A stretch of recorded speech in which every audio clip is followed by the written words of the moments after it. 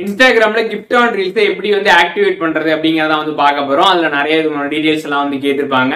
So அந்த details எல்லாம் fill பண்ணி டேக்ஸ் இன்ஃபர்மேஷன் எல்லாம் கொடுத்து எப்படி வந்து கம்ப்ளீட்டா அப்ளை பண்ணி வந்து முடிக்கிறது அப்படிங்கிறத பத்தி தான் இந்த வீடியோல நம்ம டீடைல் தான் வந்து பார்க்க போறோம். பார்க்கறதுக்கு முன்பாக சேனலை சப்ஸ்கிரைப் பண்ணிக்கோங்க. பெல் ஐக்கான கிளிக் பண்ணி ஆல் அப்படின்றத செட் பண்ணிடுங்க.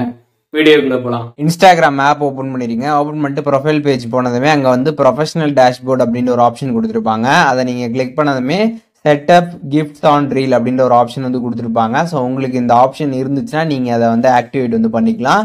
அப்படி உங்களுக்கு செட்டப் கிஃப்ட் ஆன் ரீல்ஸ் அப்படின்னு மேலே வந்து ஆப்ஷன் ஷோ ஆகலைன்னா கீழே வந்து கிஃப்ட்ஸ் அப்படின்னு இருக்கான்னு வந்து பாருங்கள் அப்படி கீழே இருந்தால் அதை கூட நீங்கள் கிளிக் பண்ணிக்கலாம். மேலே இருந்துச்சுன்னா நீங்கள் அதவே வந்து கிளிக் பண்ணிக்கலாம். ஜஸ்ட் நீங்கள் அதை வந்து கிளிக் பண்ணதுமே கெட் ஸ்டார்டட் அப்படின்னு ஒரு ஆப்ஷன் இருக்கும். அதை கிளிக் பண்ணிடுங்க. கிளிக் பண்ணதுமே கண்ட்ரி வந்து கேட்பாங்க. கண்ட்ரி செலக்ட் பண்ணிக்கோங்க.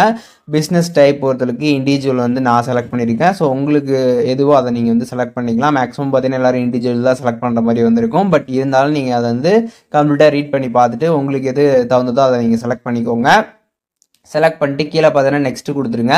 அதுக்கப்புறம் ஃபஸ்ட்டு உங்களோட நேம் வந்து கேட்டிருப்பாங்க. அதுக்கப்புறம் மிடில் நேம் அதுக்கப்புறம் லீகல் ஷூர் நேம் வந்து கேட்டிருப்பாங்க. அந்த இடத்துல பார்த்தீங்கன்னா உங்களோட ஃபாதர்ஸ் நேம் நீங்கள் வந்து என்ட்ரு பண்ணிடுங்க அதுக்கப்புறம் உங்களோட டேட் ஆஃப் பர்த்து அதுக்கப்புறம் அட்ரஸ்ஸு நீங்கள் இருக்கக்கூடிய டவுன் இல்லை சிட்டி அதுக்கப்புறம் கண்ட்ரி கேட்டிருப்பாங்க.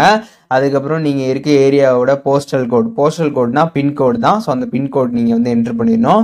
அதுக்கப்புறம் உங்களோட மொபைல் நம்பர் அதுக்கப்புறம் இமெயில் அட்ரஸ் வந்து கேட்டிருப்பாங்க. அதெல்லாம் வந்து என்ட்ரு பண்ணிடுங்க. இதில் இருக்கிறது எல்லாமே பேசிக் டீட்டெயில் தான். ஸோ இதெல்லாமே கம்ப்ளீட்டாக படித்து பார்த்துட்டு அதில் இருக்கக்கூடிய டீட்டெயில்ஸ் எல்லாமே என்ட்ரு பண்ணிடுங்க அண்ட் கீழே பார்த்தீங்கன்னா வந்து பேன் நம்பர் கேட்டிருப்பாங்க பேன் நம்பரை என்ட்ரு பண்ணிக்கோங்க.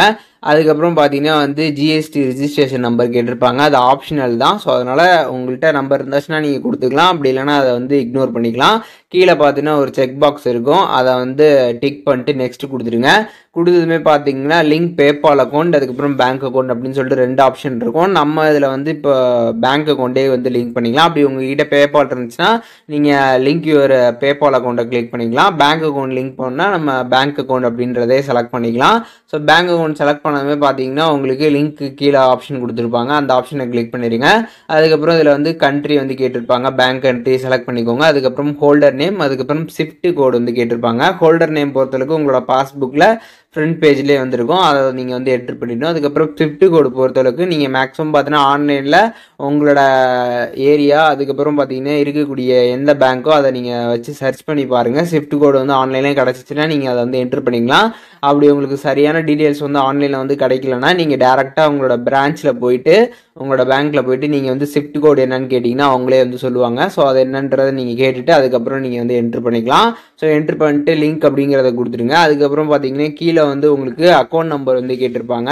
ஸோ அக்கௌண்ட் நம்பரை வந்து என்ட்ரு பண்ணிடுங்க பேங்க் அக்கௌண்ட் நம்பரை என்ட்ரு பண்ணிட்டு அதுக்கப்புறம் கீழே பார்த்தீங்கன்னா லிங்க் பே அவுட் மெத்தட் அப்படின்னு ஒரு ஆப்ஷன் கொடுத்துருப்பாங்க. அதை செலக்ட் பண்ணிடுங்க செலக்ட் பண்ணதுமே டேக்ஸ் இன்ஃபர்மேஷன் வந்து கேட்டிருப்பாங்க. இந்த டேக்ஸ் இன்ஃபர்மேஷன் பொறுத்தளவுக்கு நமக்கு ஒன்ஸ் இந்த கிஃப்ட் ஆன் ரீல்ஸ்லேருந்து அமௌண்ட் வர ஸ்டார்ட் ஆகிடுச்சுன்னா அதுக்கப்புறம் கூட நம்ம வந்து கொடுத்துக்கலாம்.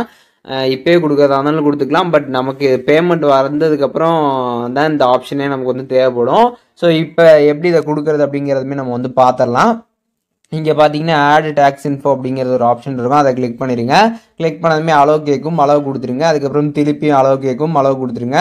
அதுக்கப்புறம் இதில் ஃபஸ்ட்டே நீங்கள் இண்டிவிஜுவல்னு முன்னாடியே செலக்ட் பண்ணியிருந்தீங்கன்னா இண்டிவிஜுவல் இருக்கும். பிஸ்னஸ் செலக்ட் பண்ணியிருந்தா பிஸ்னஸ் அப்படின்னு வந்துருக்கும். இதில் கீழே பார்த்தீங்கன்னா வந்து யூஎஸ்என் சிட்டிசனான்னு கேட்டிருப்பாங்க.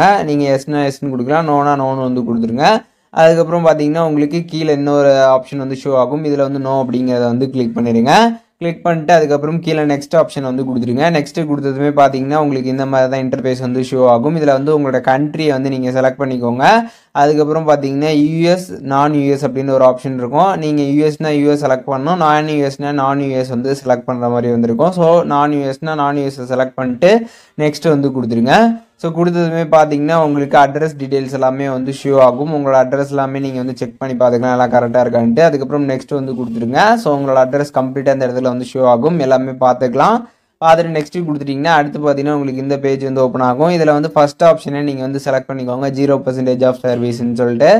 செலக்ட் பண்ணிட்டு நெக்ஸ்ட்டு கொடுத்துருங்க. கொடுத்துமே பார்த்தீங்கன்னா வந்து கீழே நீங்கள் ஸ்க்ரால் பண்ணி வர மாதிரி வந்திருக்கும். அங்கே ஒரு செக் பாக்ஸ் இருக்கும். அதை நீங்கள் வந்து டிக் பண்ணிவிட்டு உங்களோட சிக்னேச்சரை நீங்கள் இந்த இடத்துல வந்து என்ட்ரு பண்ணணும். ஸோ சைன் அதாவது உங்களோட ஃபுல் நேமை நீங்கள் என்ட்ரு பண்ணிட்டு நெக்ஸ்ட் வந்து கொடுத்துட்டிங்கன்னா உங்களுக்கு சப்மிட் ஃபார்ம் வந்து கொடுக்கணும். ஸோ சப்மிட் ஃபார்ம் அப்படிங்கிறத கொடுத்ததுமே உங்களோட டேக்ஸ் இன்ஃபர்மேஷன் பார்த்தீங்கன்னா கம்ப்ளீட்டாக வந்து ஆட் ஆகிடுச்சு ஸோ ஒன்ஸ் உங்களுக்கு டேக்ஸ் இன்ஃபர்மேஷன் ஆட் ஆகிடுச்சுன்னா அடுத்த பேஜ் உங்களுக்கு இந்த மாதிரி வந்துடும் கிஃப்ட் பார்த்தீங்கன்னா வந்து எனபிள் ஆயிடுச்சு அப்படின்ற மாதிரி. கீழே பார்த்தீங்கன்னா டன் ஆப்ஷன் இருக்கும். டன் அப்படிங்கிறத கொடுத்துட்டிங்கன்னா ஸோ உங்களோட இன்ஸ்டாகிராமில் பார்த்தீங்கன்னா வந்து இந்த ரீல்ஸ் ஆன் கிஃப்ட் பார்த்தீங்கன்னா வந்து ஆக்டிவேட் ஆயிடுச்சு அப்படிங்கிறது அந்த அர்த்தம். கிஃப்ட் ஆட் ரீல்ஸை எப்படி வந்து ஆக்டிவேட் பண்ணுறது அப்படிங்கறத இந்த வீடியோ டீட்டெயிலாக தெரிஞ்சிருப்பீங்கன்னு நினைக்கிறேன். உங்களுக்கு இந்த வீடியோ யூஸ்ஃபுல்லாக இருந்துச்சுன்னா லைக் பண்ணிருங்க. எதுவும் டவுட் இருந்துச்சுன்னா கண்டிப்பாக கமெண்ட் பண்ணுங்க. எல்லாருக்குமே வந்து ரிப்ளை பண்ணுறேன் வேற என்ன கண்டென்ட் நம்ம சேனலில் போஸ்ட் பண்ணணும் அப்படின்னு நினைக்கிறீங்களோ அதை பற்றியும் கமெண்ட்ஸில் ஷேர் பண்ணுங்க. அதற்கான வீடியோஸுமே சீக்கிரமாகவே நம்மளோட சேனலில் வரும்.